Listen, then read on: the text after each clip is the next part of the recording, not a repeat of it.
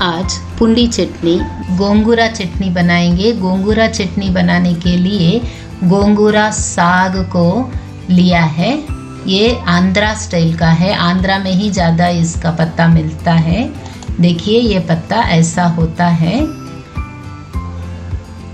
ये पत्ता मैंने लिया है धो के पोछ के इसके लिए जो भी सामग्री चाहिए, ऑयल, राई जीरा नमक हिंग लाल मिर्ची पाउडर हल्दी अभी इसको बनाने का विधि देखेंगे अभी गैस पर कढ़ाई रख के उसमें ऑयल डाल रही हूँ इसमें ऑयल थोड़ा ज़्यादा पड़ता है ऑयल गर्म होने के बाद सरसों राई, हिंग, जीरा,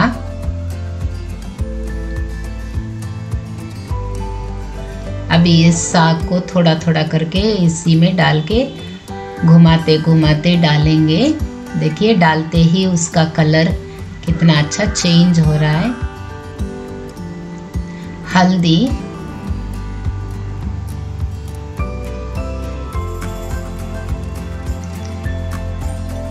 ऐसा घुमाते घुमाते इसको डालते रहेंगे।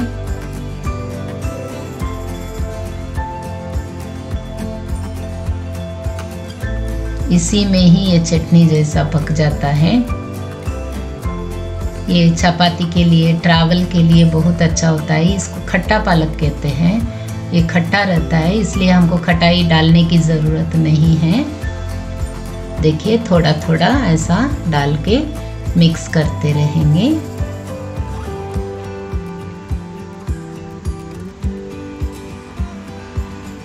जो पहले डाला वो कितना अच्छा कलर चेंज हो गया है।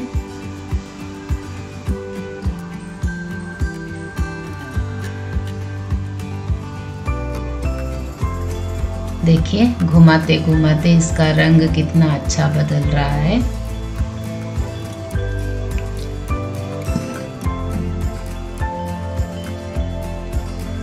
इसी में ये पक जाएगा।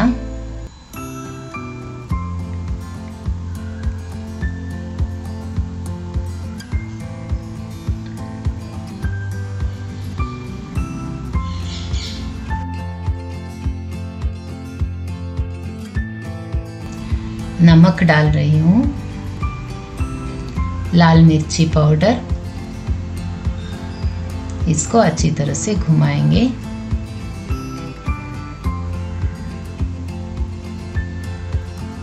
मीडियम आँच रख करके इसको बनाना है।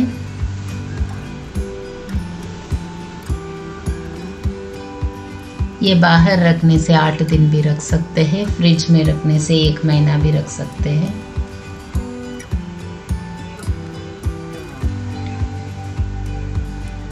देखिए